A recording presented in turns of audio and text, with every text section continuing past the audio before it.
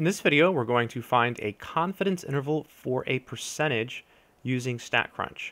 We're going to focus on problem number 7 right over here. So a study of 1,620 toll booth workers showed that only 21% were unhappy with their jobs. Construct a 90% confidence interval for the percentage of all toll booth workers who are unhappy. So we want a confidence interval for a percentage. So all we do is we go over here to where it says stat, and you left click on stat, and then you go down to where it says proportion stats.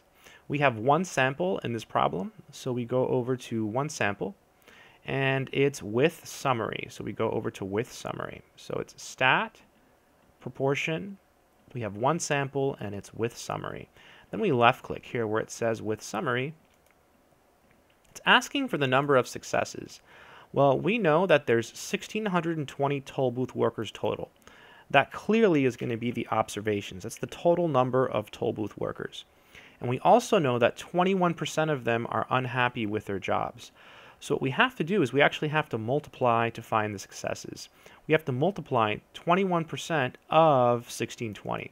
So to do that, you can go over here to where it says data and go down to compute and expression. Of course, you can always use a calculator. That's probably a lot easier.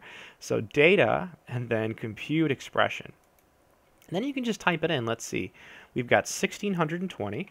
Let's try it. Times and then 21%, so 0.21. And then we can click this button here that says compute and hopefully it works. Let's see.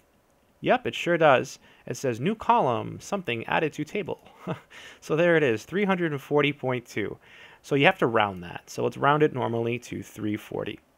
Again, if you insist on using StatCrunch and not a calculator, it's data, compute, expression, and then you can just type it in 1620 times 0.21. And then you just click compute and boom, there it is. It just shows up in the table. Pretty nifty. All right, so we enter our successes, which is 340. We have our observations, which is 1620.